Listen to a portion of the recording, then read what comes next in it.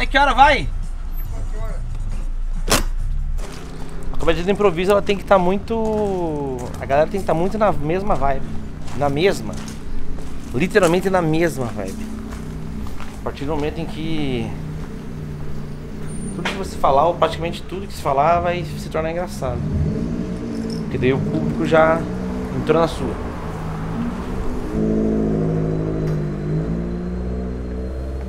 Aqui que eu comecei a fazer stand-up. Esse teatrinho introspectivo, sem lugares. Depois a gente só fez no Opera A. E agora a gente tá voltando depois de muito tempo se apresentar aqui. Putz, depois de uns. Nossa, acho que eu nunca mais fiz aqui. Faz, faz muitos anos. Quatro, cinco, cinco. Cinco, seis anos talvez.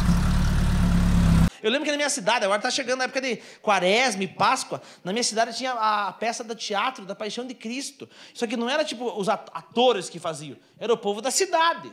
O cara de tarde era mecânico e de noite era Jesus. Porque nem só de óleo vive o homem também, né, cara? E daí tá, e a peça era tudo meio amador e tal, e não sei o quê, uma bagunça, aquela coisa toda.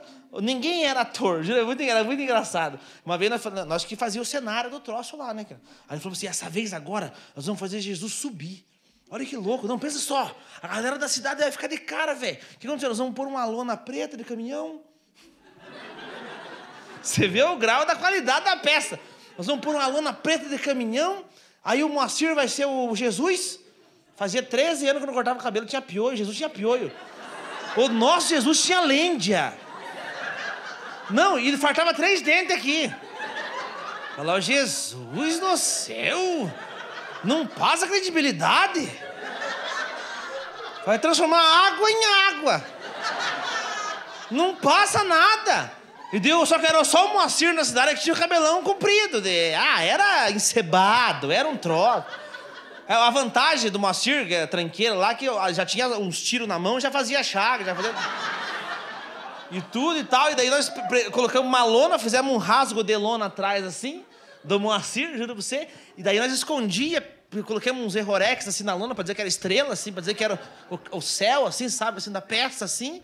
E daí na hora, de, era engraçado a hora de soltar o Barrabás, porque era no meio da praça, aberto. Vai soltar o Barrabás, a criançada, ai, mãe, mãe, mãe, mãe. Era engraçado, eu falava, solta o Barrabás. A criançada corria. O Barrabás era tipo, tipo bicho papão. A mãe falava, o Barrabás! Cuidado com o Barrabás, estava no colo e ranhos correndo, tudo. Pense que legal que era. Era um drama e virava uma comédia. Tudo, a pedra era de papelão, Jesus ressuscitava assim, a pedra de papelão, caía no chão, era uma desgraça. Era muito engraçado. Sabe quando coloca assim no rosto de Jesus e tira? Era um pano de prata com, com, com canetinha, era outro nível. E nós esperando a hora certa do Moacir poder voar, que ia parar a cidade. Nunca o cara subiu assim. Imagina que louco, era sempre encerrava e beleza. falei, não, dessa vez Jesus vai, ir, vai subir. No final da pé, o povo vai aplaudir de pé. Daqui a pouco nós lona de caminhão e nós ficava atrás da lona, tinha rasgo assim, nós ficava aqui e era uma corda. Era uma rodana que tinha em cima e era uma corda. Falei, pesada, vocês vão puxar essa corda. O padre vai ficar de cara, filho. Aí o Moacir subia num negocinho assim, que era a cruz, prendia as mãos assim, e tinha os ladrão, né? Que também não era ator, era piazada. Os ladrão do, do, lado de Cristo, é engraçado. E daí o ladrão, um ladrão tava assim, e ele ficava sondando que hora que um. Que um... E tava aqui, ó. A, a, a, o código era o seguinte: a hora que eu bater na, na, na cruz aqui na perna, é como se quebrasse tua perna. O ladrão falou, beleza. O ladrão entendeu errado o recado. Ele estava aqui, a hora que o cara bateu no negócio aqui na. Pá! Ele fez assim, ó. Aí do nada, o ladrão ressuscitou, ele voltou a mão aqui. e o Moacir esperando para subir. Louco de cana que tava, não era vinho, era telecoteco. E, filho, antes para dar coragem, né, do mecânico vai virar Jesus do nada. Pela, só de zóio na Maria Madalena, falei, ah, falei, é só atriz, não vai mexer com ela, Lazareno. Falei, agora é a hora, só que os guris, em vez de. A, a ideia de Jesus subir era puxar a corda aqui, ó. Pra ele subir. Os piá tudo bêbado. Puxava dando um soquinho, tipo, vai! Vai! Vai! Cara, foi muito engraçado o aqui, ó.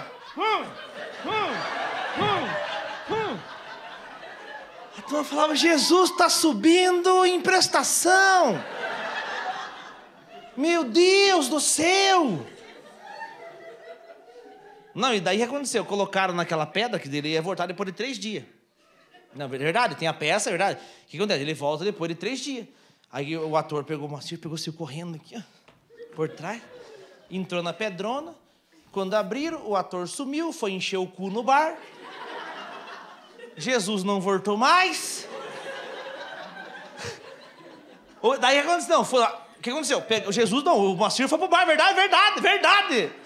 Pegaram outro cara, colocaram uma peruca e enfiaram lá de novo na cruz. E tinha um cara que era o soldado, a história é real. Tinha um cara que era o soldado, que ele pegava a lança e molhava no. Só que ninguém era ator. Molhava no vinagre. O Piazão acho que cortava grama de dia e à noite ele virou soldado. Aí ele molhou aqui no, no vinagre, colocou na boca de Jesus. E não fala, não falava com a Bíblia. Eis vocês que veis, que mês, e veis vocês.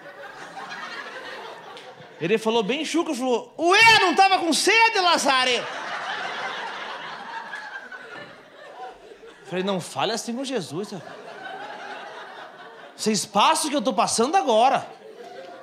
Porque a Páscoa é desse jeito. O pobre não tem essas coisas. Ah, não, o pobre quer saber de chocolate. Passa a vender chocolate. É, pensa, ah, eu vou vender chocolate nessa Páscoa. Nunca fez chocolate na vida. Vai no mercado, compra uma barra e fala, seja o que Deus quiser.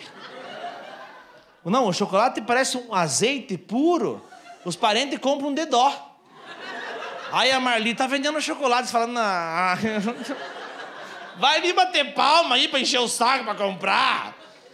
Aí você compra, o chocolate tá embrulhado com papel alumínio. Não, um, um, pacote, parece capa de caderno, sabe? fala, meu Deus do céu, mas será que eu tô, tô com dureiro?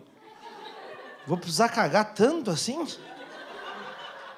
Meu Deus do céu. E a minha mãe sempre falava assim, ó, oh, eu esse ano, a Páscoa não era uma coisa harmoniosa pro pobre que fala assim, ai, vou comprar um Ferreiro Rocher. Esse é o cara que tá com cenzão e fala assim, hoje eu vou comprar um Ferreiro Rocher. Nós não, filho. Nós era moranguete, aquele coelho que já vinha quebrado, sabe, lembra? Tinha aquele coelho que ele ficava assim, ó. Só com a orelha aqui, ó.